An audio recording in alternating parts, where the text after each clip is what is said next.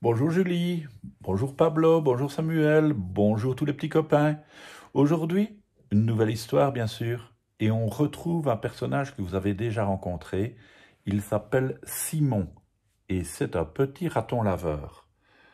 Simon, aujourd'hui, va nous parler d'une drôle d'invention.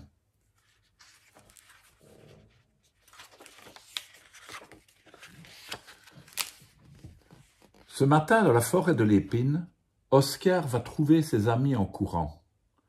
Regardez ce que j'ai reçu crie-t-il très excité. Il agite une invitation sous le nez de Ben, Feuille et Simon, qui lisent tous ensemble le carton. Participez au concours de l'épine d'or et recevez le prix de l'invention la plus originale. J'ai tout prévu, explique Oscar. Nous fabriquerons une machine pour récolter les châtaignes sans se piquer. J'ai déjà fait des plans. Oscar est gourmand, et cette idée lui plaît énormément. Mais Ben, Feuille et Simon sont beaucoup moins enthousiastes. Si on faisait plutôt un appareil de musculation, suggère Ben le sportif, et pourquoi pas un détecteur de noisettes, propose Feuille, qui ne retrouve jamais ses réserves secrètes. Simon, lui, rêverait d'une machine pour faire son lit le matin, nouer ses lacets ou ranger sa chambre. Tout ça sans se fatiguer. Les quatre amis se chamaillent. Oscar se moque des noisettes de feuilles, car il préfère les châtaignes. Ben refuse la machine à tout faire de Simon, qui est pour les fainéants. Moi, je n'ai pas besoin d'un appareil de musculation, lui répond le raton laveur, vexé. Mes muscles sont très bien comme ils sont. Si c'est comme ça, je construirai mon invention tout seul. Simon s'en va de son côté, et bientôt Ben, Feuille et Oscar en font autant. Après tout, chacun a le droit de participer seul au concours de l'épine d'or. Que le meilleur gagne, lance alors Oscar, bon joueur, mais personne ne l'entend. Chacun est déjà en train d'imaginer des plans. Pour le renard, c'est facile. Il a déjà tout dessiné. Les yeux rivés sur ses croquis, il tresse des tiges de châtaignier pour confectionner un panier rond. Une branche, deux branches, trois branches, Un bout de bois se détache comme un ressort et lui frappe le bout du nez. Aïe, glapit Oscar. Si Simon avait été là, il aurait pu m'aider.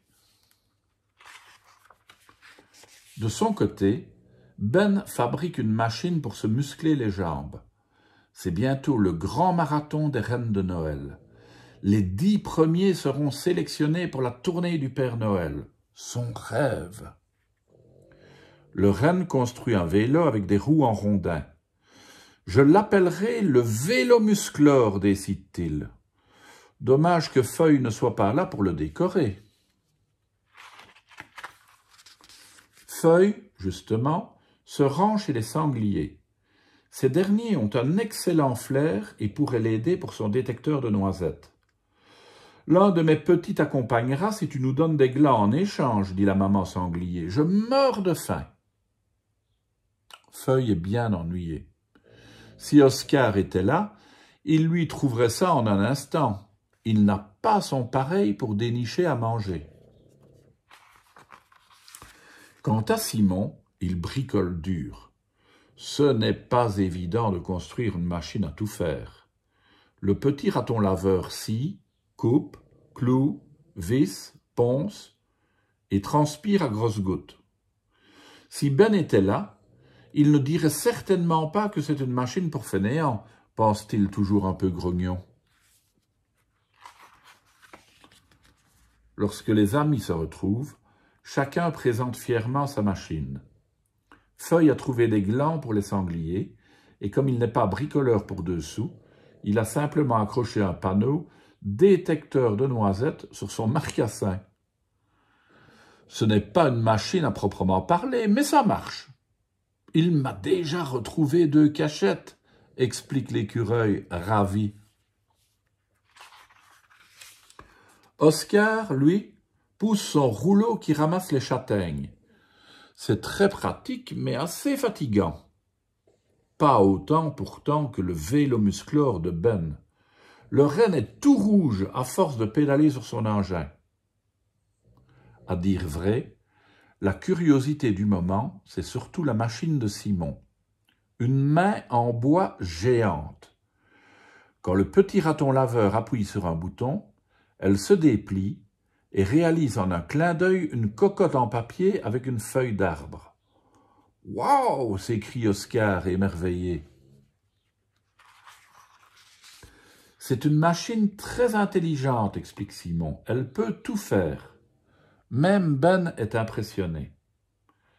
Elle pourrait m'aider à m'entraîner à la boxe, demande-t-il.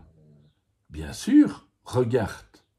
Simon appuie sur un bouton, la main se transforme en poing qui s'aplatit sur le nez de Ben. Eh crie le renne, je n'étais pas prêt.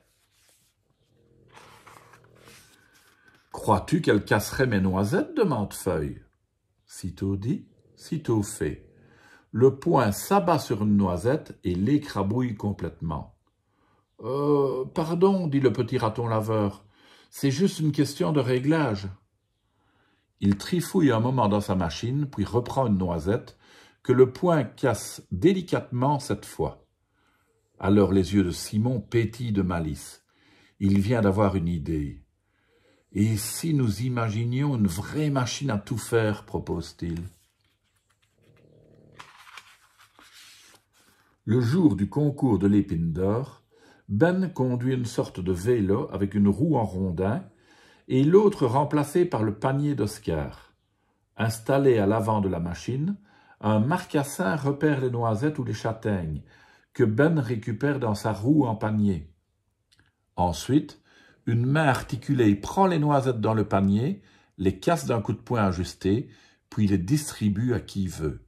Du jamais vu au concours de l'épine d'or. Le détectoramasodistributomusclore, la machine de musculation qui détecte, ramasse et distribue noisettes et châtaignes, est tout à fait originale. Elle impressionne le jury, et remporte l'épine d'or à l'unanimité. Mais comment se partager un seul trophée à quatre? Simon, Ben, Feuille et Oscar se mettent bien vite d'accord.